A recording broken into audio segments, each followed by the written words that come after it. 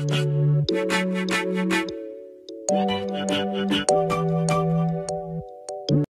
guys, welcome back to my channel and if you're new here, hi my name is Janelle and I upload new videos every Wednesday and Friday. Today's video, today I'm going to show you guys my top two in every makeup category. Yeah, in order to make the top two, it probably takes a lot because I do try tons and tons of products, but there are a few staples that I always revert back to and that always just are like my go-to for special occasions and things like that. So that's what I really try to consider when making this video. So guys, I was wearing this top in the look that I created for this makeup look, but it was so hard to take off. Like this piece right here, this cool little cutout, you legit have to like stretch out and put over your head. It doesn't detach. So yeah, if you see me wearing the same exact outfit in a previous video, it's because I am and it was too hard to take off. Before you leave though, please don't forget to hit that subscribe button and the notification bell. Don't forget to check me out on Instagram and TikTok. And without any more rambling, let's get into the video. Alright, so I have my little notebook right here with my notes. This notebook is so cute. It kind of like is like a Louis Vuitton type of vibe, but it's from Amazon. And I've been loving it for just like jotting down video ideas, making to-do lists, it's really great. So if you're interested in that, I'll leave it linked down below. And it also comes with this really cute pen. I do plan on doing another Amazon favorites video too. So um, yeah, if you want to see that, consider subscribing. I'm going to start off with like primers, foundation, try to go in order. Some of them, also not all the products I will have right in front of me. Some of them I like ran out of and I haven't repurchased because I wanted to try something different, but I regret trying something different because I love that product. So just keep that in mind. I'll insert pictures and stuff on the screen. So for primers, my top two primers are my e.l.f. Poreless Putty Primer. This I love pretty much the most out of all my primers. Any other high-end primer, this is my go-to. I really love this primer because it smooths out the skin but it keeps your makeup on all day. I also love this on days when I'm not wearing any makeup because it literally creates a filter on the skin. I love the kind, the universal one, because it's not too mattifying, but it's not too like shiny and dewy skin. It's not gonna dry it out, nothing too shiny, absolutely stunning. I highly recommend this primer. And then the next primer that I really like, this is more geared toward drier skin. It's the Milk Hydro Grip Primer. It'll control shine, but still create that tacky base for makeup to stick to and that's why I absolutely love it. I also love mixing this with other primers so sometimes I'll just use this in my T-zone but then use Met e.l.f. Poreless Putty everywhere else or it's a really good primer to like mix in with other products. This is a new discovery, but it has been a true game changer, and it is the Tula Skincare Filter Primer. This is like magic in a little bottle. It's insane. I like that it comes with a little pump, and they have three different shades. They have one for fair skin, one for medium skin, and one for deep skin. And it comes out like a cream, right? So you're like, why would they have different colors? But when you rub it in, it will literally like match the tone of your skin and create a filter of color. So if you have any hyperpigmentation on the skin, breakouts, it'll really lightly just graze over all of that. So then by the time when you go in with your foundation, you already have that kind of like filter over everything. But not only does it add that filter of color over it, it also blurs the skin, but it's still hydrating. I find that a lot of blurring primers can like not hydrate the skin enough and then your foundation just sits on top instead of like really meshing in with the primer that's underneath of it. So foundation was another category. But I feel like I had to pick three just because they're for different purposes. I also want to do another drugstore version of this. This is so hard. So hard to just narrow it down. Okay, if I was stuck on a desert island and I could only have one foundation, this is the foundation I would take with me. It's the Dior Backstage Foundation. This was a newer discovery for me and I've been hooked ever since. It gives you a soft glow, but it's not too glowy. It literally blurs your skin. It will blur out any like large pores. I get a lot of texture in this area. Nice medium coverage, but you could totally layer it up and get more of like a medium to full coverage.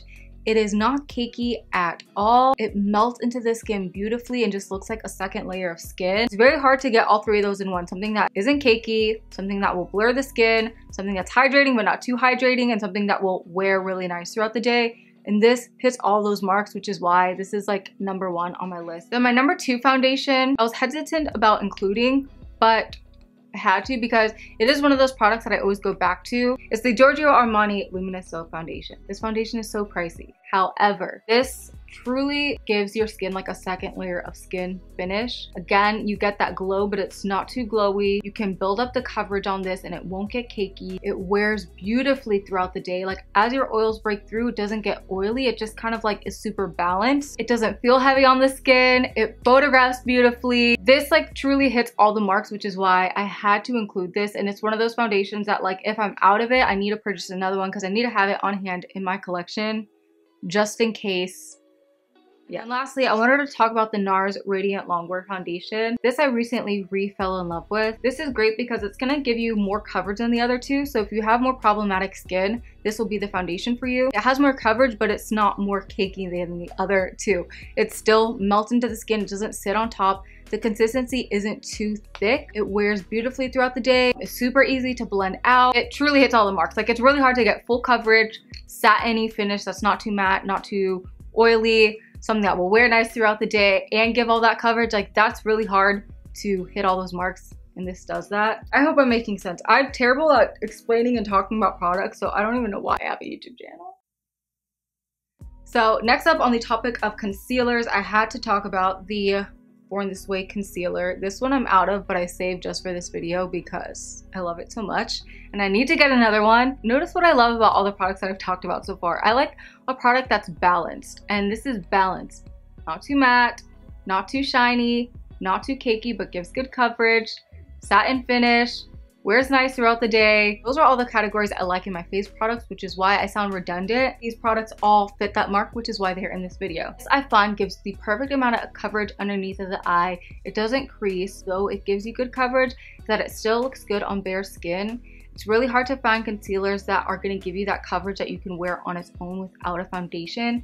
And that's super important to me because on a lot of days, I don't want to wear a full face of makeup. I just want to spot conceal underneath my eyes, any blemishes, and be out the door. And this concealer is perfect for that. I love using a concealer like this with the like Tula primer and boom, that's my makeup for the day. This is also the concealer that I used on my wedding day, except I mixed it with the MAC 24 Hour Concealer, which I don't like on its own, but mixed with that concealer, that is the perfect concealer concoction. Then next up, I had to talk about the Pat McGrath Sublime Concealer. Concealer is revolutionary in my opinion because this is the most opaque full coverage concealer that I own.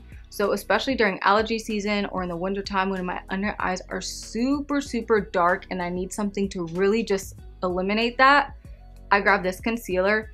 But the more amazing part about it is that, again, it's still hydrating. So it's not gonna be full coverage and then leave your under eyes looking dry and crepey and just like gross and cakey. Since it's a more hydrating finish, it still leaves a natural finish underneath your eye while giving a super opaque full coverage finish. It wears beautifully throughout the day. It doesn't crease.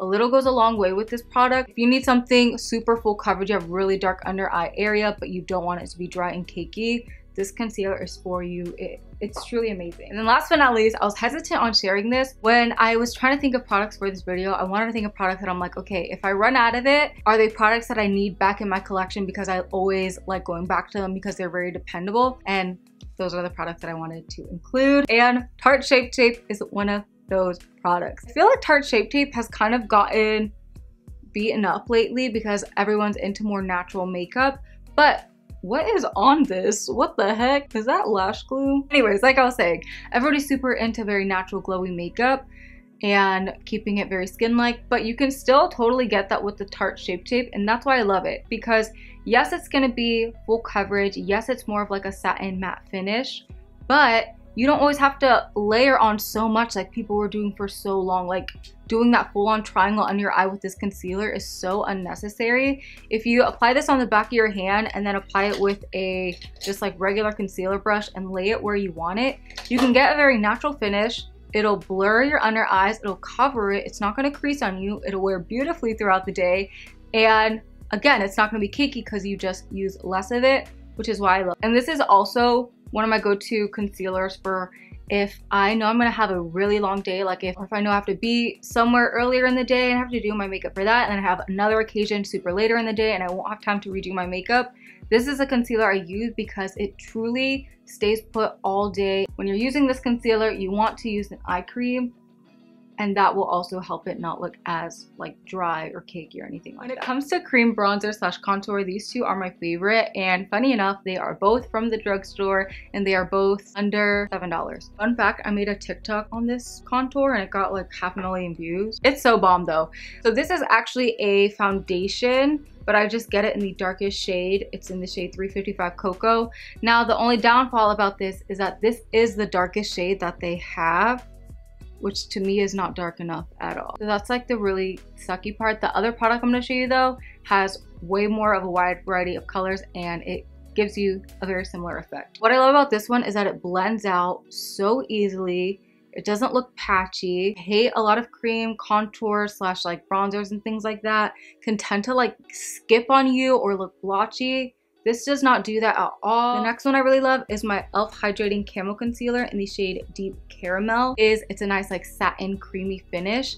This one is gonna have a little bit more coverage to it, so I just like to put some on the back of my hand, work it into a brush like this or something, and then apply it to my face and then that way it doesn't go on too like intense or heavy. This wears beautifully throughout the day since it's the Hydrating Camo Concealer. It is going to give you a nice like satin buttery finish. It looks great on bare skin too if you work it into a brush and then apply it on the face. yeah, these two are my favorite for cream contour. Moving on to bronzers. Ooh, I actually have three. This is another one where I had to talk about three because two was just not enough. So the first bronzer that I'm like is an absolute must to have for everybody. It is the OG MAC Give Me Sun Bronzer. It's a super pretty like warm terracotta shade. So whenever I apply this on my skin, it literally just looks like I went outside, got some natural sun. I like applying this one with a fluffy brush because it is very pigmented and very warm, but it melts into the skin beautifully. It's not a super like matte, chalky bronzer. It doesn't skip on you. It doesn't look muddy. This is a part of the mineralized line, so they start off as creams and then they bake them into a powder, which is why they melt into the skin so beautifully. And then the next bronzer that I am just so in love with and obsessed with is my Hourglass Ambient Lighting Bronzer in the shade Bronzient Lumiere. I don't know. I'll link everything down below, but it looks like this. And it does have a soft sheen in it, which I love for the winter time when my skin is more dry. It's a little more sheer, but you can build it up. And this just gives you the perfect all over bronzy glow without looking like straight up shimmer on your cheeks or on your face. I normally always steer clear from like shimmery bronzers. I've never liked them. I was just hooked. The way it melts into the skin, gives that soft glow, Without looking heavy, this looks stunning on bare skin with no foundation on too because you can build it up or wear it more sheer. But this is also my favorite product to use all over my eyes as an eyeshadow for like my everyday makeup look. This is the product that I use for my eyes. Such a beautiful product. This is also great for like brides. It's a great product to have in your makeup kit. And then the last bronzer that I have been obsessed with is the Makeup by Mario Soft Sculpt Bronzer. This one is in the shade medium. I also have the shade dark. That's how you know I like a product when I need it in multiple colors. I love this one for my skin tone because it's not too warm, not too cool. The dark one is great for more like richer olive skin. This is a beautiful matte bronzer without looking too like chalky. It doesn't skip on the skin. It blends out beautifully beautifully. And yeah, I have just been truly loving this bronzer along with like so many other of Makeup by Mario's products lately. All right, moving on to powders. If I was stuck on a desert island and I could only bring one powder with me, this would be the powder. And it is my OG MAC Studio Fix Foundation powder. I love this powder so much. It is so beautiful, stunning to wear on its own. It's stunning to kind of like buff over your face when you finish your makeup if you want to create a filter on your skin. You can apply it with a fluffy brush like this, and I'll actually even show you guys. A fluffy brush like this, lightly uh, pick up some product. And if you just go over everything, do you see the filter that it literally leaves your skin? It's great for touching up with with a large brush like this. I also love getting like brighter um, colors in this foundation powder as like an under eye brightener to add more coverage. I also love getting in a darker shade as bronzer. Such a versatile, beautiful makeup product. It also works great for all skin types. This is such a stunning product powder. Oh, by the way, I was breaking up my powders into two categories, pressed powders and then loose powders. So I'm gonna talk about pressed powders right now. Pressed powder that I absolutely love is my number seven perfect light powder. This is in the shade medium. This is gonna be less coverage than the MAC Studio Fix. This is gonna be more sheer. It'll smooth out the skin. It'll mattify it a little bit without drying out your skin too much. Create a filter over the skin. It seriously locks your makeup in place all day. Both of those powders do, but this one in particular really does. Like I found that this made my makeup mask proof. And the best part about this product is that it is from the drugstore. I think it's like $13 and it's just stunning. It's not gonna make your skin look cakey. It's not gonna feel heavy on your skin. You can apply it with a dense brush or a fluffy brush. It's great to keep in your bag to touch up with. Definitely recommend this powder. Moving on to loose powders there are two that I want to talk about. First loose powder that I love and I've repurchased, I think twice now. It's my Hourglass Veil translucent powder. I love this powder because again, it hits those categories that I like for my face products of not being too matte, but mattifying enough to keep the makeup on all day while still letting your natural glow and any like cream highlights and all that shine through. Doesn't look cakey or crepey, it's very fine, but it does add a nice like brightness, especially if you pack on a little bit more to the under eye. I feel like you're able to bake with this powder without your skin just looking so dry and just intense and heavy. It's just a beautiful product. I find that Hourglass makes really great face products. They're really good at creating that balance of a little bit of shine, a little bit of matteness, wearing nice throughout the day, looking skin-like, but just looking also very angelic and glowy. I also find it works great for all skin types all like different ages and textures of skin. And then the next powder that I really like, I think it's honestly on this list because it reminds me a lot of the Hourglass one, except it's a fraction of the cost. I've talked about it a ton on my channel, and it is my Kokie translucent powder. Love this powder. Again, very fine, but you can also like, if you want to bake with it, it'll give a little bit more brightness and coverage, but it's not going to be cakey. It wears beautifully throughout the day. And the best part is it's only $9.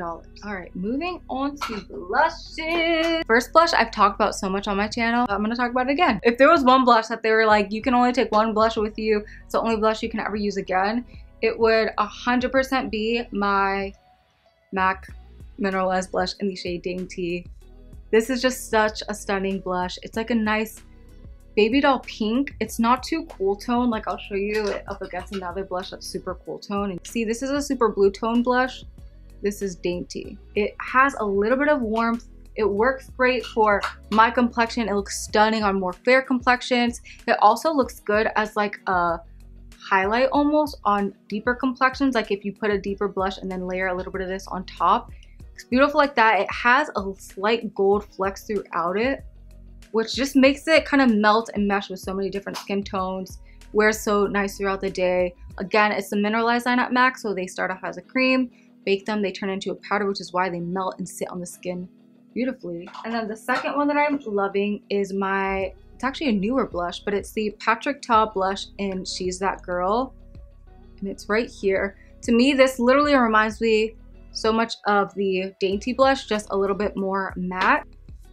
They're very similar. This is just a little bit more matte and a little bit more warm. Like the pigmentation on this is beautiful. And I also love this because it comes with the cream on top. But I'm gonna do a separate category for my top cream blushes. And actually we can start off with this one because this is one of them.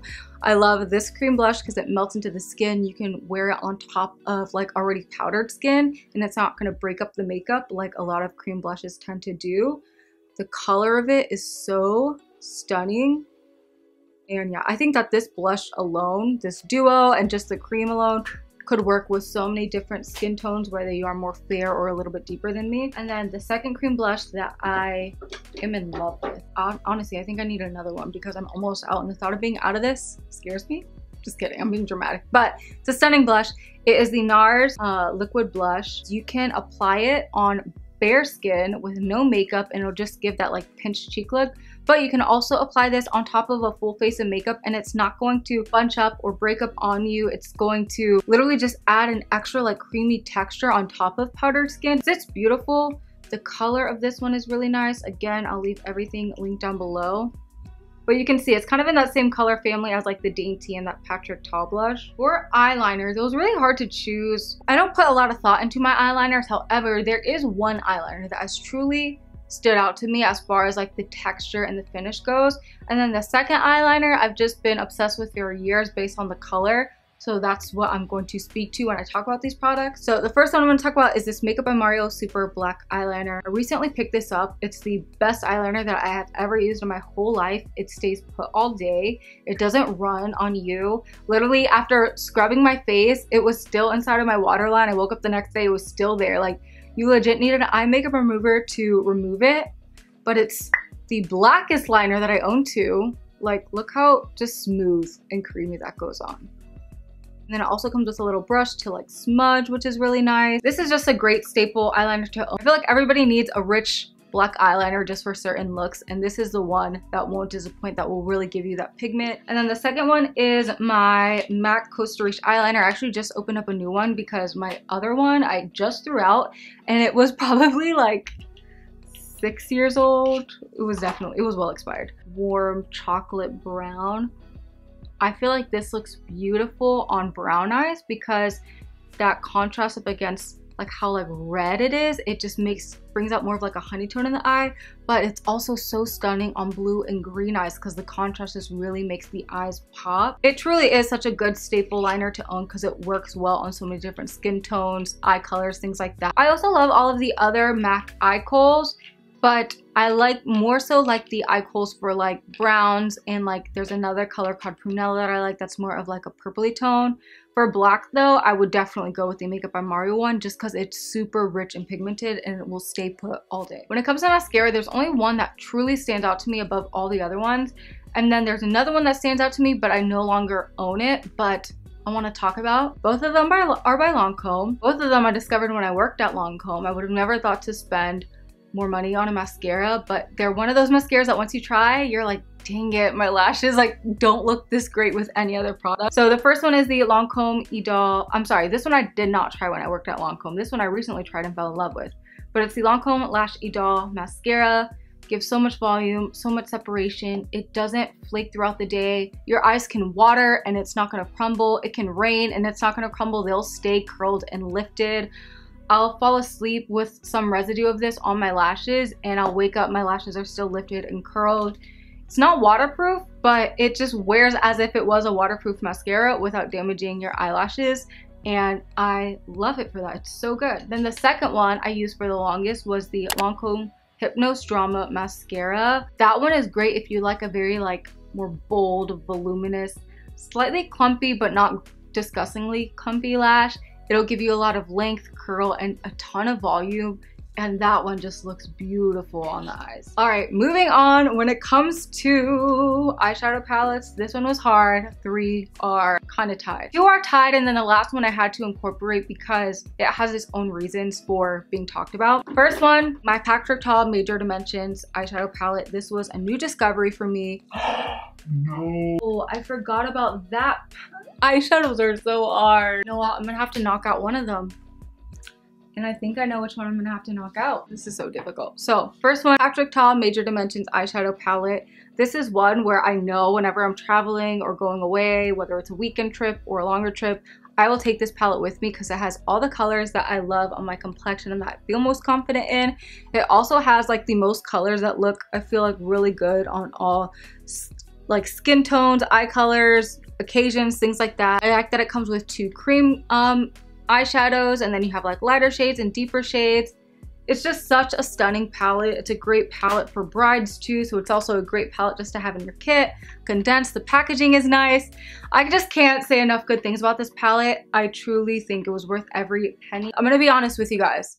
Initially I had the Patrick Ta, my Natasha Denona gold palette here, here, you guys just see that? This whole thing just came out and this is not a cheap palette.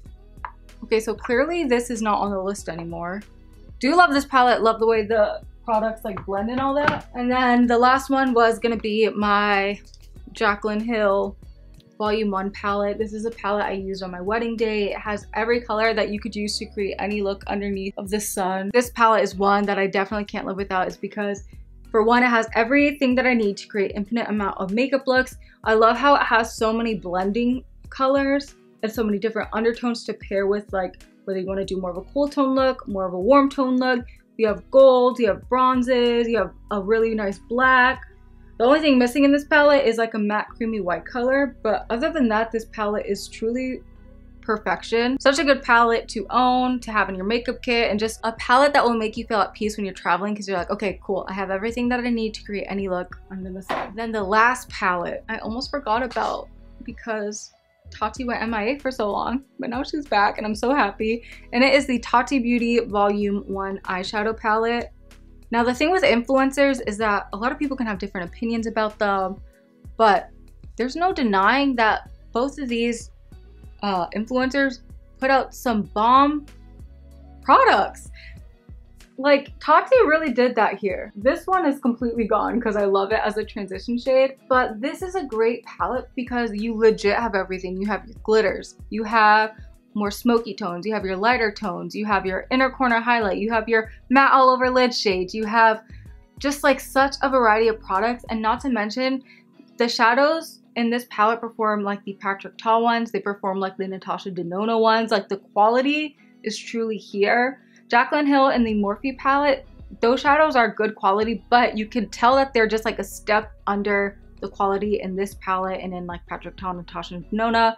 I mean, they have to be because that palette's only like $40 for all those shades. Now this one is $48. You do get slightly less shades, but you still get that variety and you literally get like the feeling of a luxury palette without spending 68 up to like a $100 on a palette like you would on a Natasha Denona one. And I love it.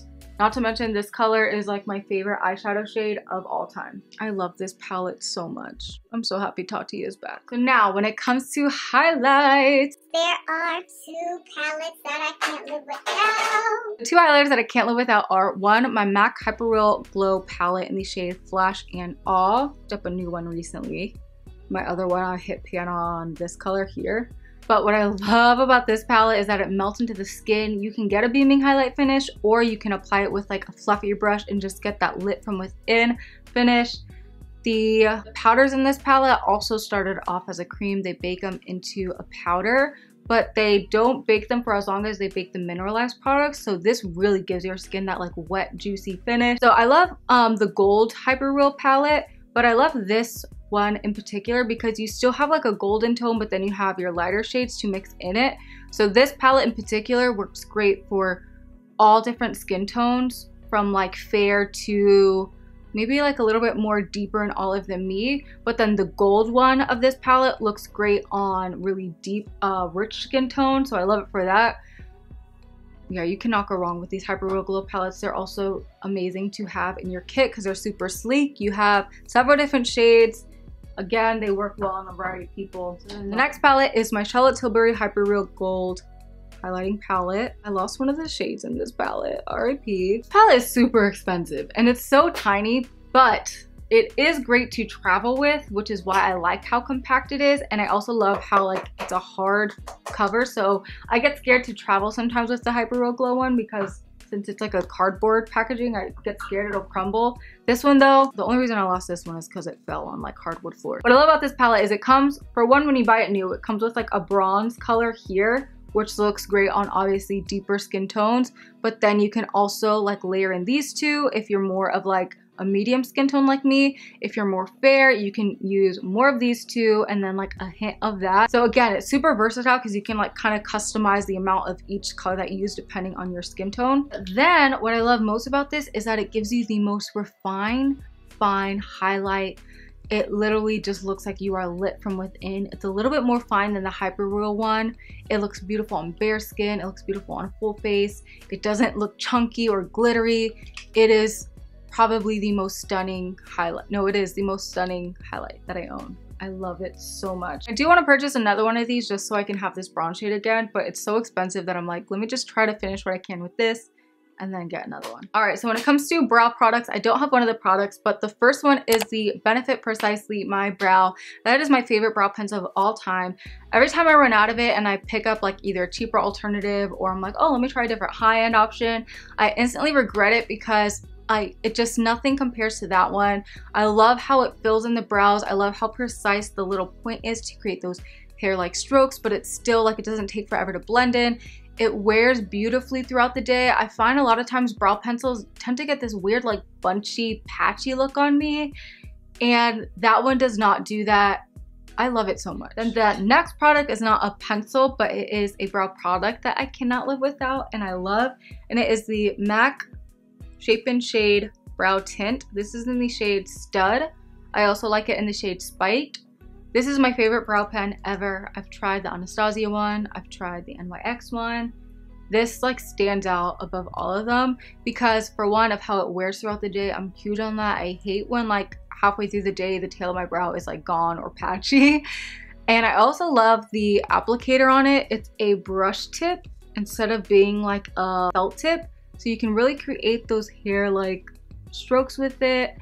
I also like it because it has a little powder on the other side to kind of like blend through. However, I don't use a powder on my brows, but I do like it for whenever I want to do like a soft wing. I'll literally use a brow pen as a wing and then take this and uh, the powder side and like smoke it out. So I just also love how it's versatile. And then the next two categories, I'm not gonna talk about like colors or anything in specific. I'm just gonna talk about two brands that I like to purchase when I'm getting stuff from this category. And the first one is lip pencils. So when it comes to lip pencils, there are two brands that I purchase all of my lip pencils from for the most part. I just find that the price point is really good. So when it comes to high end for lip pencils, MAC is my go-to.